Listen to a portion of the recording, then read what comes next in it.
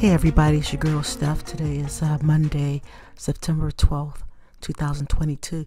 Just want to talk to you about uh, the whole recession thing and everybody tripping out and getting angry and upset and everything. But um, from a business perspective, what's happening is musical chairs are um, musical chairs is being played right now.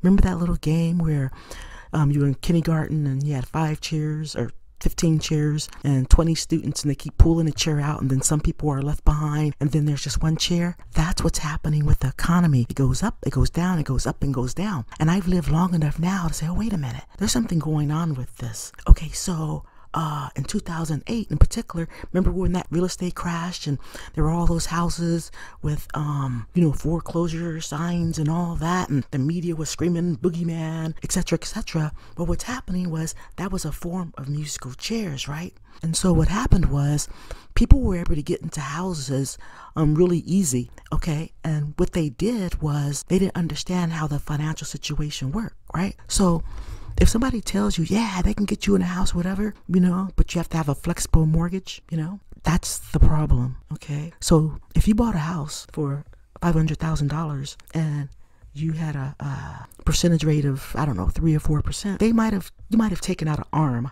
Okay, it's like a flexible mortgage rate, and you're betting that, um, hey, your your house is gonna go up. But then when it didn't, people lost money, and that's how everything went down in 2008. Musical chairs, the same thing is happening right now. But it's not just real estate. It happens in crypto.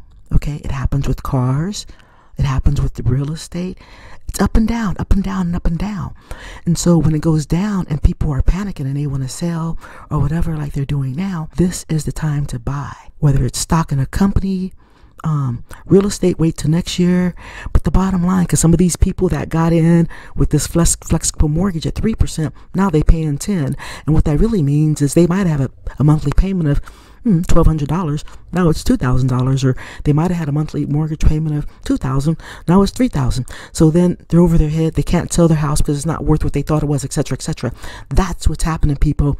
We're playing a musical economic chair chairs and the job of the media is, is to spread the hype the world is falling and it is for those that ain't got no money but for those that got the money and ready to buy and everything now is the time you got to play the game but if you don't know nothing about taxes and money and finance, I'm the girl to tell you. It's your girl Steph. Take care.